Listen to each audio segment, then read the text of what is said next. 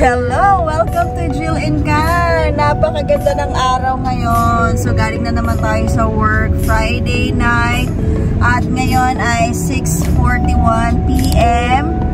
Okay, so, grabe. 2.30. 2 o'clock ako dumating sa work. Tapos, merong isang bata lang. 2 years old and yung mother niya. Paalis na sila. Tapos, the rest of the night, wala nang dumating na ibang bata. So, patay na yung ilaw. Naglinis lang ako ng party room kasi bukas may isang, may tatlong party bukas. May morning party. So, yun yung sinet up ko. Tapos, yun. Mali si Piti, bumili ng pagkain, kumain kami doon. Si Piti yung husband, yung boss.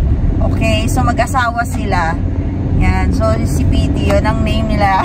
May binili na mga ibang supplies, ng mga water bottles para sa party. Tapos, pagbalik, syempre, bumili ng food kasi nandun yung isang anak na 4 years old. Yan. So, kalaro ko yung anak habang wala nga kaming ginagawa. Ngayon, dahil maaga pa, ay dadaan muna kami ng Costco at doon kami magpapagas. So, doon kami nagpapagas. Bakit tayo doon nagpapagas? Mas mura kasi doon. Okay, dahil mas mura doon. Yun. Okay, so welcome pala natin ang ating Sir Chris. Hi!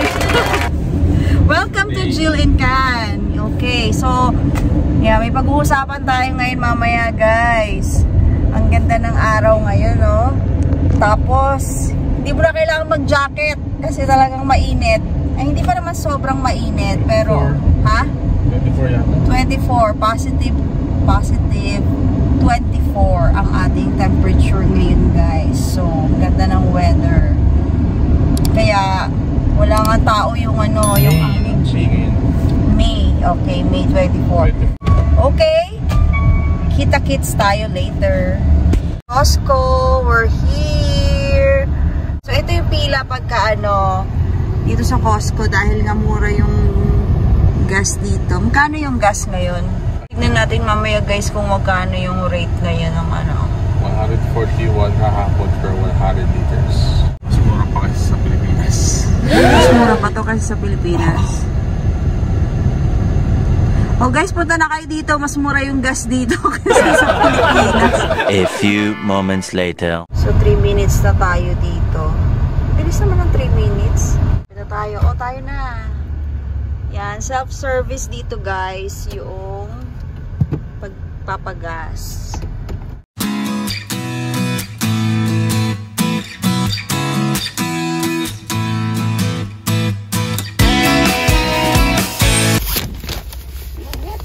One point 39 per liter.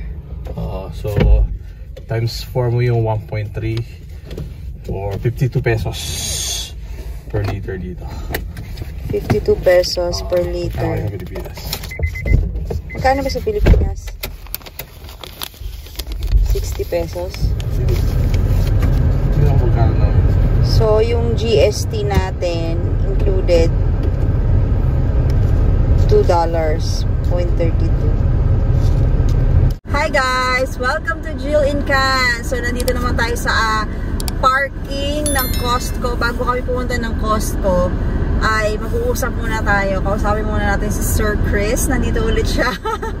okay, so meron siyang mga meron siyang mga isi-share. Pero bago yan, kamusta ka naman? Okay.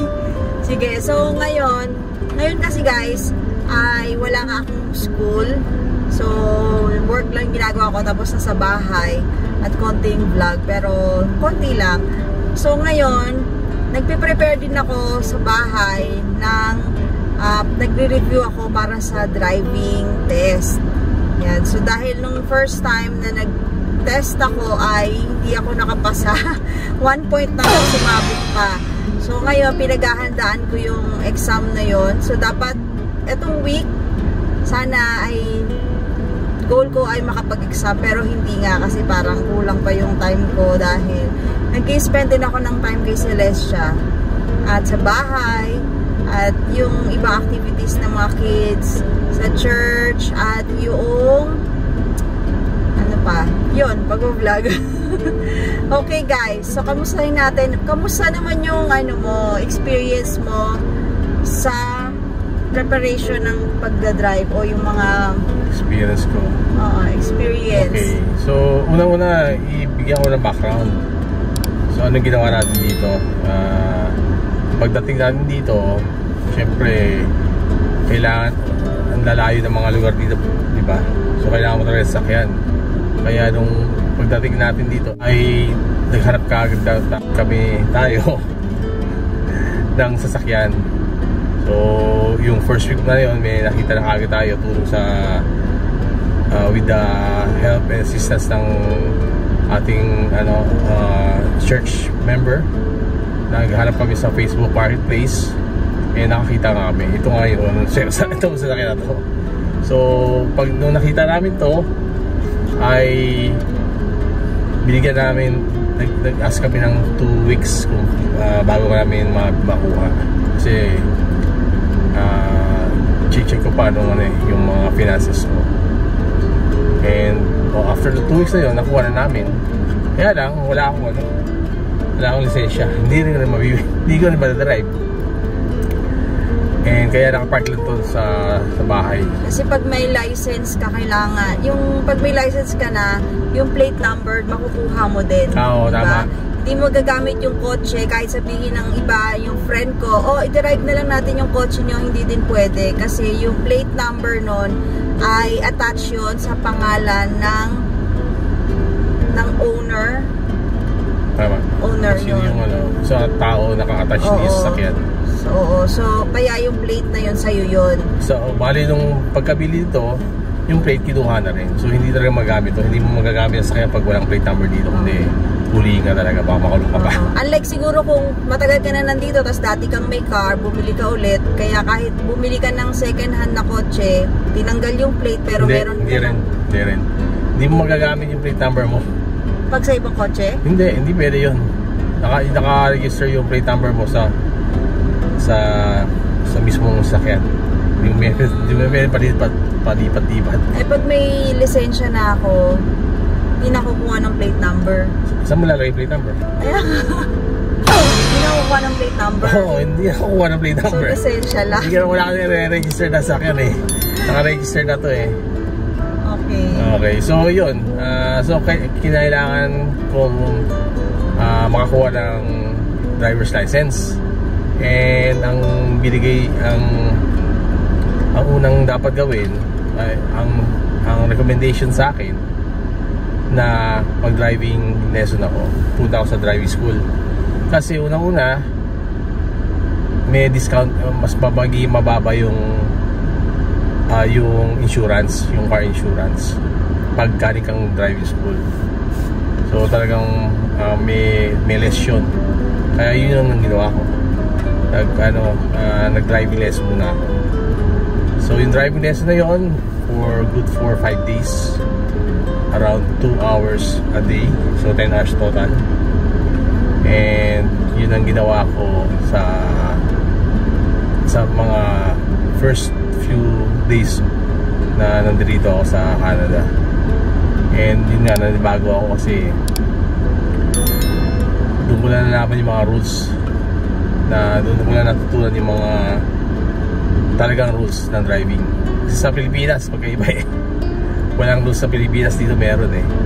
More on meron kang right of way na kung sino yung nasa right of way kahit na gaano kakatagal na naghihintay kung meron pang dumadaan na sasakyan sa right of way hindi ka pwede ah, dumaan hindi ka sa Pilipinas ay ay kung sino mauna kung sino yung mauna sino sa main road o kaya sino sa sides kung sino na una doon ay unahan na lang. So yun yung pinagkaiba so ah yung right of way talaga yung natutunan dito. Yun yung sinusunod dito. Kaya doon ako parang nakakapa kung sino yung right of way. And hindi ka basta-basta pwedeng pumasok pag merong right of way. Tsaka dapat malaman mo sino yung in, sa intersection sino yung uh, naka right of way. So yun. So talagang mahirap. Nahirapan ako kasi una-una maraming hindi pumapasa dito eh na driver. Kakailang take sila minsan. Two. hindi mga 8 mga ganon. Yung nakasama ko sa driving naka ilang hours na siya? Naka 10 hindi. Naka 10 days na siya. Nag driving hanggang pag 10 day niya hindi pa rin siya pwede mag-exam. Kasi hindi pa rin siya Ah, sa driving lesson pa lang. oh based sa instructor ko hindi pa siya pwedeng i ano eh isala. Hindi babaksak yun. Kaya yung driving $600 yun. Mura na yun. $600 sa iba yata mahal eh. For five days. for 5 days so Pero bakit may mga ibang ano dumadating dito sa Canada na hindi na nagda-driving lesson? Pwede ba 'yon? hindi yun yung recommendation. Kasi unang-una saan ka, mag, saan ka nagaling? Kung saan galing sa Pilipinas mahirap. Eh hindi mo alam kung ano sino mga hindi mo alam yung rules dito eh. Yung rules sa Pilipinas naman magkaiba eh. Doon ah, kung sino yung mauna yun yung tama eh Di ba si Kuya Buboy ba yung ano, sinabi niya no, dumating siya dito. Si Kuya Buboy yung ka-church namin na tumulong sa kanya maghanap ng car at saka mag-driving lesson referral. Sabi niya nung dumating siya dito, ang ginawa din niya, hindi siya nag-aral, di ba? Nag-exam agad. Oo. Tapos, syempre, hindi sila nakapasa. hindi sila nakapasa. Kasi paano papasa di mo nga alam yung, yung rules. Tsaka delikado. Pag ikaw hindi nag-aral dito, hindi mo alam kung si yung right of way lang, doon ka na ma- ma-aksidente. Oo, so importante. Kasi hindi mo alam na susugod ka, mayroon pa lang naka right of way, yun, hindi yun titigil kasi alam niya right of way siya eh. Tayo hindi eh. Pag wari tayo na sa right, wari, for example sa Pilipinas, tayo na sa right of way. Tayo na sa main road.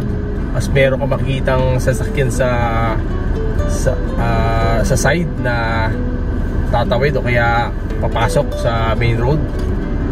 Ikaw ah, mag mag ano ka eh, mag-alangan ka eh, or mag mag ang gagawin mo ay papik, papakiramdaman pa nga eh kung, titi, kung papasok yun o hindi eh. So handa ang brake mo. Kaya kasi sa Pilipinas kung kahit way ka pag merong sisingit sisingit yun.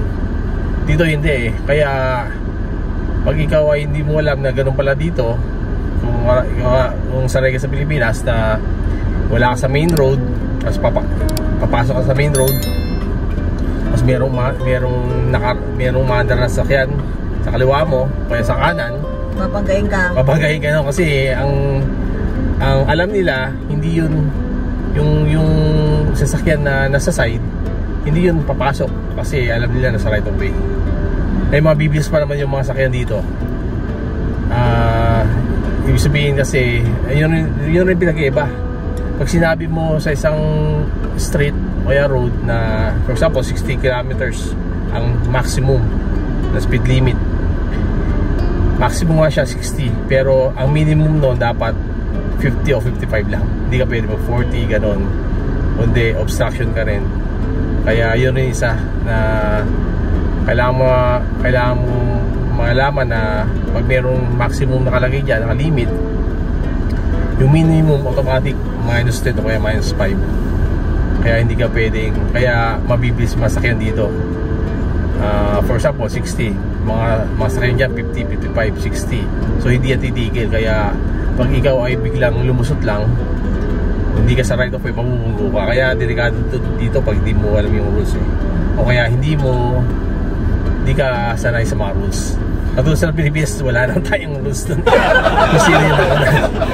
Talagang siya mauna eh. Kaya palaging naka naka brake nakahanda ka sa brake eh. And ayun isa sa mga tulang ko rin dito sa mag-drive yung uh, kailangan ko i-adjust ay pagkakaliwa ka kakanan. For example sa intersection ka merong ah, merong stoplight Ah, paano ka kakanan paano ka kakaliwa saka may mga signs kung ah, ano paano ka papasok o hindi. For example kasi dito sa Canada pag pag left turn walang left turn na ano eh, na sign. Kundi yung go. Pag nag go ka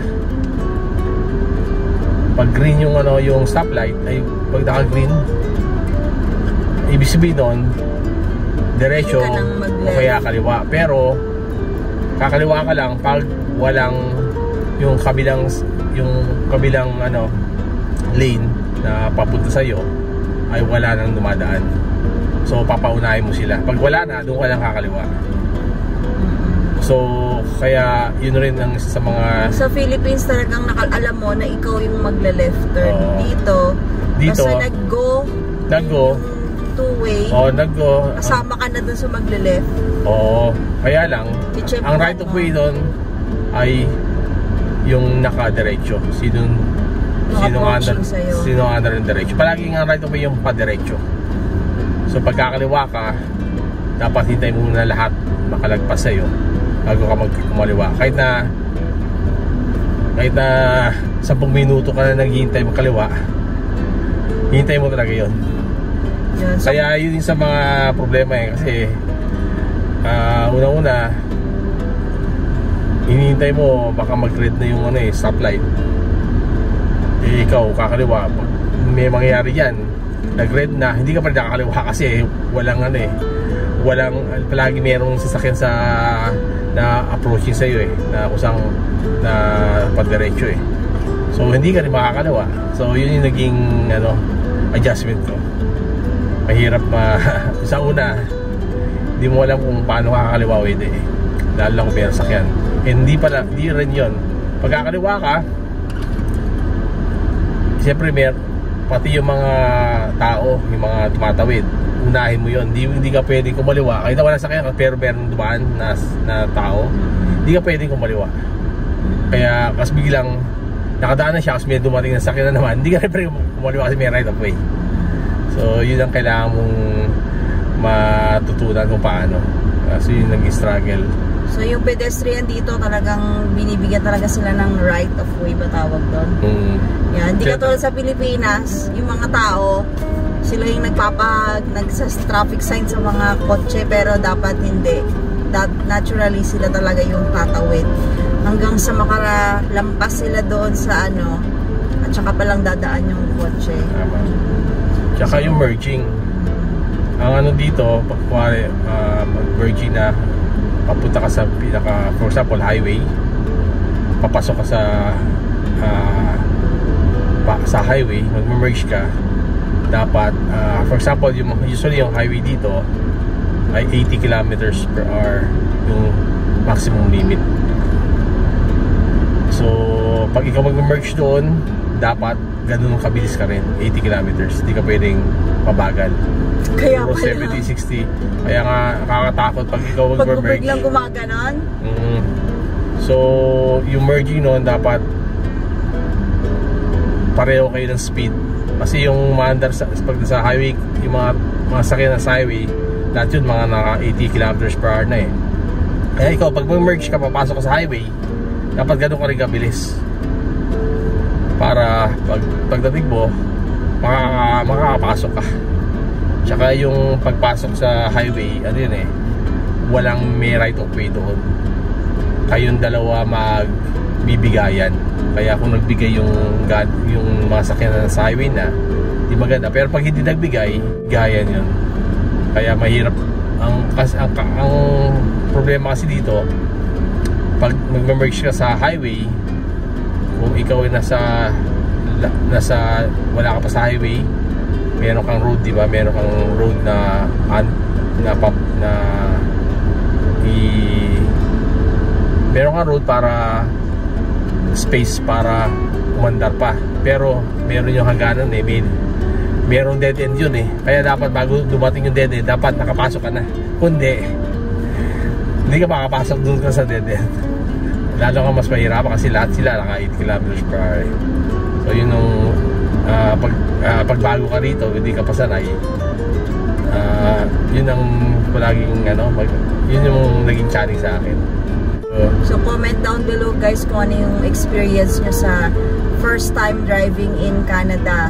So alam ko hindi lang namin very particular sa ibang province but we are speaking dito sa Alberta. Same lang. Same, lang sila. Oo. Pero iba yung Standard tawag, yun eh. iba yung tawag sa mga exam nila G sa Oo, iba yung tawag sa ano, exam pero yung rules ano yan eh, standard yan. standard yan kahit napunta ka US, kung ikaw kaya nga yung US ina-accept yung lisensya ng Canada dahil same yung nag-exam ka nag-exam ka dito, same lang yung rules naiintindihan mo. Kaya hindi ka mahirapan pag ikaw taga US punta ka rito, alam mo yung rules, ma, ma malalaman mo yung mga ano yung dapat o hindi. Ang hindi ang mahihirapan lang talaga yung hindi hindi hindi sumusunod sa rules o hindi alam yung rules. Ako matagal na ako sa Pilipinas nagdadrive pero ngayon ko na nalaman yung mga rules na yan. yung mga right of way na yan tapos yung uh, tsaka yung ano dito yung mga sakyan. Even pag sa stop sa intersection may linya yan na pedestrian sa harapan mo. Dapat malayo ka mga mga 1 meter to some 2 1 meter yata 2 meters dapat ang layo mo. Sa may uh, intersection o or sa pedestrian lane. Ganun kalayo. Tsaka yung between cars yung gitna nun. Dapat malayo rin mga siguro 2 meters na siguro pag ano mga 2 meters 3 so bago bago pala mag ano mag driving lesson mag e-exam muna ng knowledge test. So yun yung iti-take ko muna. 36 mm. questions yata yun diba 30 30, 30 tapos dapat 5 lang yung 5 lang yung mali mo. So pag yung, para makapasa ka. so naging anim yung mali ko sa last question kaya hindi ako nakapasa kaya uulitin ko 'yon. Pwede mo namang ulitin as many as you want. No? So pero one exam per day lang. Nakalagay oh, oh, one, one exam, exam per, day. day. So next day ka na lang babalik kung nag-fail ka. Kaya mag-start ka Monday. Kaya abangan nyo guys, sa Monday, mag-exam ako.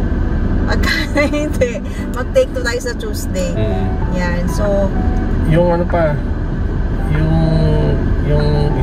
Ayun nga, di ba? Yung kailangan masanay dito. Yung layo nga ng, ano, ng mga bawat sasakyan sa bawat isa. Sa Pilipinas kasi, bumper to bumper talaga. Pag hindi ka maandar, nakatigil, malayo ka rin dapat. Mga 3 meters yata, something. Sa malayo kasi ang ano dyan pag nabunggo ka sa likod at least di mo bubunggo yung harapan mo. Ganoon rin sa intersection eh. Kaya dapat malayo ka sa intersection o kaya malayo ka sa pedestrian. Merong meters na layo pa doon. Hindi, hindi eksakto kung sa linya. Dapat malayo doon. Kasi pag nabunggo ka dap na hindi mo mabubunggo yun sa pedestrian. Kaya yun yung yung ano yung idea nun. Kaya dapat malayo uh, merong space kung saan nakarang yung linya. Tsaka kasi pagka usually pag para ano na rin yan eh, practice din yan pag winter, di ba? Pag winter, kailangan talaga mas yung distance. Ay, yung mga iba naman walang winter eh. Australia, wala namang winter. Oo nga, pero ah, parang pag winter, mas malayo lalo. Mas malayo ka pa. Tapos mas mabagal ka dapat mag-drive. Yun ang nire-recommend, di ba? Mas mabagal. Saan? Pag winter? Pag winter. Oo. Depende kung madulas yung ano. Uh, mal, mag, magagamay mo naman eh malalaman naman kung ano dapat bilis mo hindi. Kasi kung madulas talaga doon. Pero syempre talagang ano mas maingat pag ano winter. Uh, ayun. And ayun. So yun driving. So sa akin ang nangyari sa akin hindi mo na ako nag isang ng ano eh level 7 7 yun. Ano nag driving muna ako nang hindi pa ako nag exam ng 7 pero dapat kasi student na din eh. License yun dapat kinuha ko na yun. Pero nag-aral na ako. And kaya hindi ko alam yung rules of simulan. Kasi bago ka mag-drive mag-drive lesson rin dapat pinasa mo na nabasa mo na yung mga rules para at least pag nasa nasa ah, ka na na driving ano alam mo na yung mga rules. Kasi yung teacher pala magsasabi sa'yo kung pwede ka nang mag-test. Oo, kasi test. Oo, kasi kung sa'yo papa baksak ka na. Kaya kung hindi kung hindi mo rin alam yung rules tapos nag-driving lesson ka, nasa teacher din yan kung i-go signal ka niya ng mag-road test or else kahaba yung lesson nyo. Ganun ba yun? Oo, talaga. Mahaba. Magbabayad ka naman magbabayad. Oo. So sa akin nga eh, ang nangyari sa akin ah, after ng ano ng 5 days na na pag na, na driving ay merong ano yan, classroom. So hindi lang yung driving, may classroom pa yan. Kailangan mag pumasok ako ng tatlong araw sa classroom for 6 hours ba yun? O mga 6 hours per session. And meron kami exam rin doon. Kasama yun sa kailangan mong ma- mapasa rin. Para mabigyan ka ng certificate na nagpunta kang driving. Tapos may discount ka sa ano. Oh, pagpunta kasi Insurance. sa insurance na yan, yan. Kaya pwede naman kayo hindi mag-driving na school pero mas mahal nga sa ano sa, Insurance. sa insurance. So yun pala guys, no, tandaan nyo, kapag hindi kayo nag-driving school, yung insurance na makukuha nyo mas mahal. Mm, Kasi may classmate ako, sabi niya ang mahal na yung binabayaran nila sa insurance. Pero hindi ko naman alam kung nag-driving yung asawa niya eh. So basta mahal yung nakuha nilang insurance. Tapos hanap din kayo ng medyo murang insurance kasi ang insurance nito monthly yung binabayaran. After matapos yung classroom, doon na ako nag-exam ng, ano, ng level 7. Uh, naka-take 1 naman ako. naka-take 1 naman ako. naka-take 1. After noon, nag, nag, na ako, nag classroom training. And, ayun rin eh. Ah, na, sa classroom training rin, sasabihin naman rin sa'yo ano yung ano eh, mga rules doon eh. Yun din talaga. Kaya importante ka muna bago ka nag, nag actual nabasa mo muna para malalaman yung rules. Okay. And ayun maraming ano, maraming mga mga kailangan gawin. Ay maraming mga rules dito. For example, merong tatawid o may mga pedestrian. Ah, may pag merong umilaw dito, ah kuwari sa pedestrian lanes merong may ilaw. Dapat Mag-stop. hindi, mag ano ka lang, slow down. Eh, wala namang tumatawid. Mm, Ibig sabihin nun, kaya umilaw no, may pumintot nun, mas may tumawid o kaya nakatawid na. Or kaya pagdating mo, pag nakita mo yung yung ilaw na na nagbi-blink ay check mo muna siyempre kung may tao. Kung may tao, doon mag-stop ka. Tsaka malayo yun ha, hindi yung hindi yung malapit sa pedestrian, talagang malayo ang istapan mo. So yung ah, pero kahit na walang tao yun, dapat ano, mag-slow down ka. Ng 30, usually 30, ah, hindi, usually. Mga 30 kilometers per hour na, dapat. Kahit na ano yung maximum limit ng street o road na yon dapat magiging 30. Kahit na 60 siya, pag umilaw yung ah, kung sa yung pedestrian, merong minsan may ilaw doon. Dapat mag 30 kilometers ka lang. Okay. And also yung mga sa schools, yun rin, mahirap kasi kasama yun sa exam eh. Sa pag sa road test. Dadaan kayo sa mga playground, mga schools. Dapat. Saka pag may school bus, di ba dapat Oo. nakastop ka Oo. 3 meters away ba from the school Mm. bus? Kung before and after the school bus, ganun yung distance Oo. mo. So mahirap nga yun sa school bus. Buti hindi, hindi, hindi ako naka-experience na may school bus habang nag-exam ako. So ang ano lang dyan kasama sa exam kasi yung ano eh, dadaan kayo sa playground na para malaman niya ng mag-exam sa iyo sa actual ah sa road test na yun na mabagal ka 30 kilometers per hour pag may mga playground kahit na walang katao-tao pag may playground na dumating dapat 30 kilometers per hour ka lang ayun. So yun. So ah, after kung makakuha maku, matapos yung sa classroom at kailangan mo rin pumasa dun eh. Sa exam nila eh. Baka bibigyan ng ano eh ng student na ano eh. Actually bibigyan ka lang ng certificate na sa driving school pag pinasa mo na yung ano road test. So after kung mag ano matapos sa classroom napasa ko yun na tatlong araw na ah, once a week na papalik-balik sa classroom kasi Tuwing once- Sunday lang, Oo, no? tuwing Sunday lang yun. Once, uh, so for 3 3 weeks, hinintay ko pa yan bago ako makapag, ano, uh, road test. Nung gusto ko na mag-road test, sabi ng instructor sa akin, hindi pa ako pwede mag-road test. O, sya- tsaka ako rin, hindi ako kumpiyansa kasi nung ang time mo lang din mag-drive nung nag-drive lesson ka, 2 hours lang yung per day eh.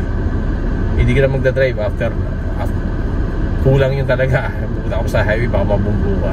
Ma-aksidente ka pa dito. Kaya kulang talaga yon sa akin. Sana kung meron ako sakyan na may lisensya at merong plaka, pwede ko i-try-try sa dyan sa may ano, sa may parking namin. Hindi ko hindi ko magagawa yun kasi wala akong wala akong plate number eh. Hindi pa nakarehistro. So makakalimutan ulit talaga. Kaya ang ginawa sa akin, nag-set kami kailangan mag-road test tapos pinaaral ulit ako ng 3 days 3 days yata o 5 days na agad ulit yun basta pinaaral ulit ako Nagbayad ka ulit. oo nagbayad ka ulit mga nabayad ko nga 600 ulit yun eh parang dalawa lang. So hanggang hanggang sa day ng road test namin nag, uh, nag nag-aaral pa rin ako. Sa umaga hapon kasi road test ko. Sa umaga na yon ay uh, nagda-drive lesson, driving lesson pa rin ako. At ang kagandahan doon sa amin, sa, sa kung saan ako pumunta na driving school ay kung, kung yung uh, kung ano yung ititest sa'yo sa road test, doon kami dumaan. Kung sa anong daanan, yun ang dadaanan namin. So yun ang ginawa namin for 2 hours sa umaga. Dinaanan namin, paikot lang yun eh, kung saan yung ruta ng road test. Para makabisado. And yun nga in in, uh, in short nung nag-route na ako ayun dahil alam ko na yung ruta as alam mo ko na anong gano'ng kabis dapat per kung saan kami dumaan kasi paiba-iba yun 30, 60 dapat susundin ko yun eh. Uh, babaksak ka sa road test pag limit mo ay 60 kilometers kasi ikaw ay mabagal 40 baksak ka na nun. So dapat susundin mo kung nakalagay na maximum. Na dapat maximum ka. Kaya kung mas mabagal ka lang konti minus 5 lang minus 5 kilometers lang hindi yung 40, 30 hindi ka papasayo. Kaya yun yung yun yung mahirap. Eh sa highway rin sa highway rin yun. Mahirap yun eh, pag ma, mag-merging kayo.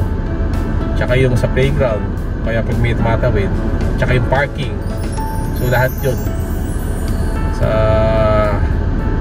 sa ang kaganda ang naging resulta tuloy doon nakapasa ako. One break lang hindi na kinakabahan talaga ako kasi kailangan talaga malapit na kasi mag winter rin yun eh kung hindi pa rin pumas ng winter mas mahirapan ang mag-exam mas mahirapan tayo lalo Guys, so kung mag-aaral kayo ng driving, mas maganda yung walang pang snow.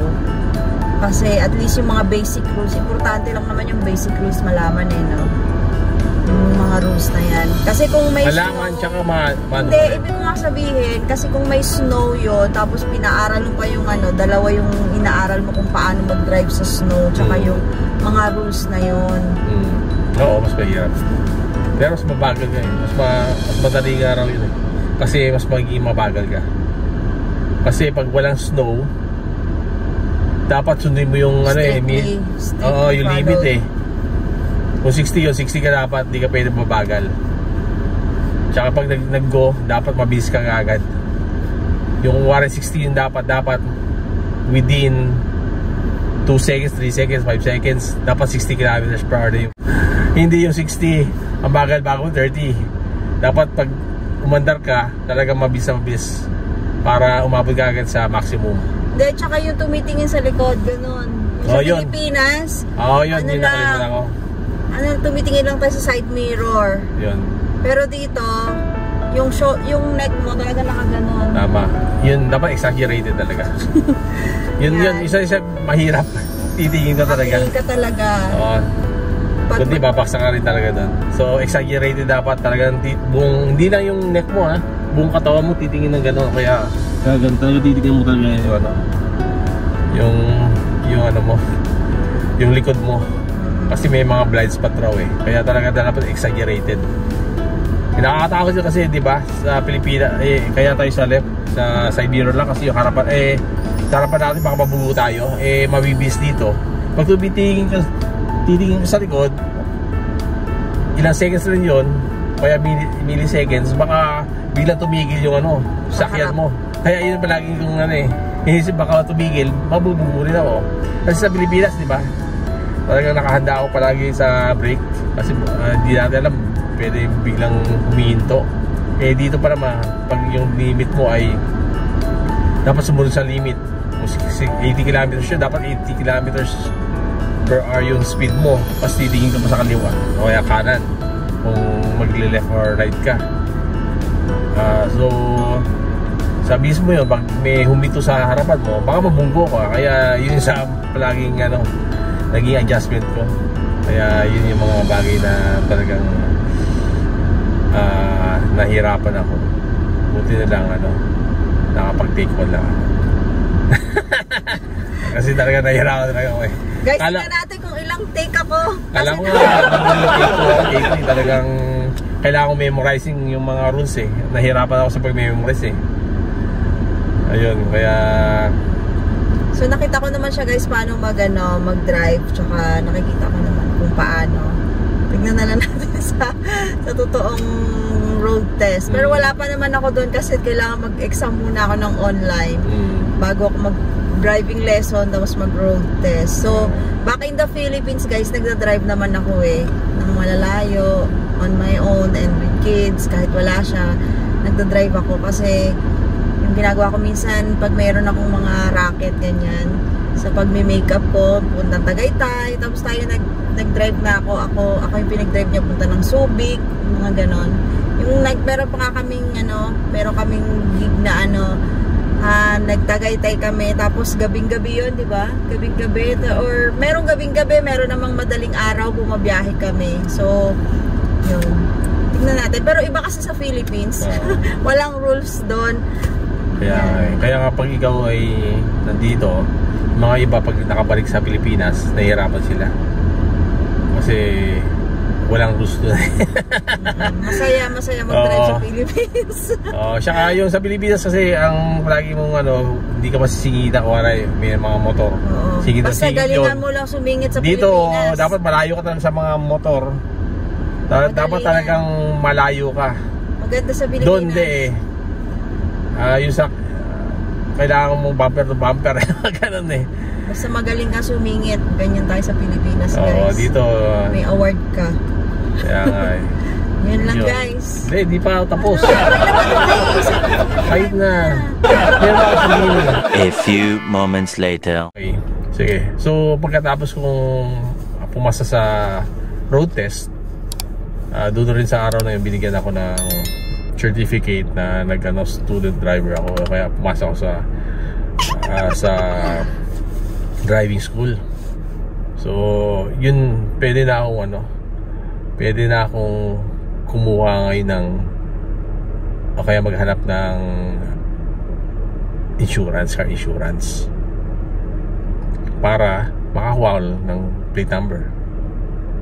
So yun ba ang isa nalaman uh, yung paghahanap ng insurance mahirap uh, matagal rin yun. Kasi uh, kahit na meron akong student uh, certificate na nag driving school mahal pa rin.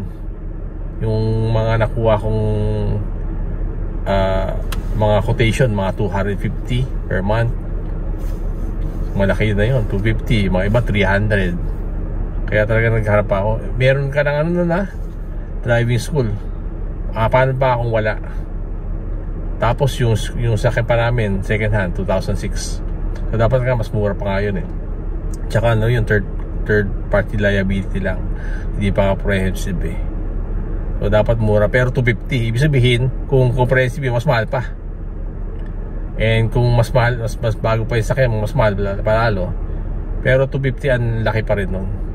So at the end nag, nagharap kami ng ano mas murang uh, driver's uh, insurance eh meron kami nakita millennium kaya lang one month yung ano yung pila bago ka pag nag-appointment ka one month pa Pero, and siyempre, one month, ibig sabihin, one month kang hihintay pa bago ka makarehistro, hindi mo rin magagamit. Kaya sa one month na yun, naghintay pa kami. So, kaya nag-commute-commute pa rin kami bago kami nakakuha ng na, na bigyan ng uh, natawagan kami na slot tawagan kami para pag-usapan na regarding sa insurance. So after ng after a month naman yan, so December na, umabot na ng December. Dumating kami dito September, December na. So buti nakuha na namin at mura. Ako nakuha ko lang mga ano yun, mga 130, 140 lang. A month. Tapos nagbayad pa ako ng ano, uh, advance ng 3 months. So naging nangyari tuloy, naging 100 a month na lang kasi nag per month yung binabayaran ko. Hindi, hindi discount kasi nagbayad ka na ng advance. So, yung natitira na lang sa 12 months na yun, dinivide na lang sa 12. Kaya naging 100 na lang. Pero kung in total, i-divide mo ngayon mga 130 lang. Mura pa rin. Ang layo sa 250. So, ang laki ng tipid namin. Doble. Kaysa kung hindi ko hinintay yun, hanggang ngayon nagbabayad kami ng malaki. And covered na kami dalaw yun. Kahit na ako yung uh, may lisensya, kasama pa rin uh, kaming dalawa kahit na kasi kailangan malaman sino yung mga nag-drive dito eh. Kahit na wala pa lisensya. So, kailangan ko sabihin na sa sa insurance na yon kasama rin mag-drive siya no? si Mrs. So kami dalawa. So pag nakakuha na siya ng lisensya, makaka-drive na rin siya dito. Kaya yun ang kagandahan. Ayun. So after nun, yun nakakuha na rin ako ng, sa wakas ng ng license uh, ng plate number and yun nakapag-drive na rin so yun kaya mas madali ng buhay namin dito yay kasi mas marami na kami napupuntahan mm -hmm. tsaka importante talaga sa amin na may sasakyan guys kasi nga big family pag nag-grocery kami ang hirap pagka ano, kahit malapit lang yung grocery sa amin paglalakarin namin yon or bubuhati namin yung mga gamit na pinamili, mabigat pa din yon kahit marami kami tagabuhat. Baka bumigay mga katawan. So, kaya kahit malapit lang yung grocery, talagang kailangan pa rin namin ng sasakyan. Tsaka for emergency din, dahil nga, syempre may mga bata, hindi mo alam ano yung pwede mangyari. No, kailangan pa rin talaga. Pag ano, pat, pati sa church. Tsaka sa work mga so, ano, naghahanap na kung sino may driver's license na kaya nag-drive eh. Kasama rin yan. So, lalawak lalo yung pwede mo applyan. Pwede kayong mag-Uber driver. Pwede kayong mag ano yun, DoorDash. Mga ganun. Oo, mga ganong racket, mga ganong Tsaka yung mismo work rin. Yung mga work, mayroong mga actual work na kinakailangan na meron Oo, license eh. meron. Katulad doon, bawa katulad sa akin, mga respite worker din, mga support worker, minsan may mga, parang ganun din, may mga nurses na kailangan merong mga um, driver's license kasi minsan may mga services na kailangan gawin sa bahay nila. So, pupunta ka sa from one house to another. Yun. So, syempre, kung ganun yung service na meron ka, mas malaki din yung sweldo na makuha mo. Yun guys ang mga opportunities. Kaya kaya kung ano yun kailangan nating mag-drive dito. Yan. So minsan may mga iba din tayong ano ibang mga kababayan dito na wala pa silang kotse. Pero okay naman yun depende sa ano nila sa career nila at sa mga kung isa lang naman sila kung wala naman silang big family okay lang din naman yon Kung depende sa trabaho nila, kung malapit lang or stay at home naman sila dun sa pinagtatrabahuhan nila, hindi talaga nila kailangan ng sasakyan. Pero sa amin na big family, talagang it's a must. Kaya maganda kasi once meron ka ng driver's license dito, pwede mo magamit sa para sa US, sa Japan, Australia, or sa UK, mga ganyan, pare kung nandun ka. Pwede Kahit na sa Pilipinas. Hindi mo na kailangan mag ano doon. Pwede tayo mag long drive to US guys. So malapit na. Yun lang guys. So kung meron kayong mga questions, tanongin natin si Sir Chris sa kanyang experience. I-comment down below guys at kung hindi pa kayo nakasubscribe sa aming channel, please consider subscribing and give this video a thumbs up and please don't forget to like and share this video para sa mga kailangan pang matuto tungkol sa mga driving dito sa Canada especially here in Alberta yan pero mo, pero ano halos pare-pares lang naman daw yan all over Canada guys so wish namin makarating kayo dito at makapag-drive din kayo at magkaroon kayo agad ng lisensya at makapasa yan, makapasa kayo at magkaroon ng lisensya. Hindi ikaw makapasa. Ako pala. so ipagdasal nyo guys na makapasa ako kasi kailangan ko na dahil magkakaroon ako ng full-time job at soon kung magkakaroon na dapat, dapat may work na siya kailangan talaga namin na, na mag-drive na ako. So, para anytime, pwede ako pumunta ng grocery, anytime na may activity yung mga kids namin sa church or saan man, ay pwede ko silang mahatid kung wala akong work na hindi lang ako nakadepend sa kanya. So, ganyan dito guys, dapat ano tayo, independent. So, yun lang guys. Meron ka pa bang gustong i-add? Wala. Sabihin mo naman, mag-subscribe kayo sa channel. Mag-subscribe kayo sa channel niya. Sa channel ko.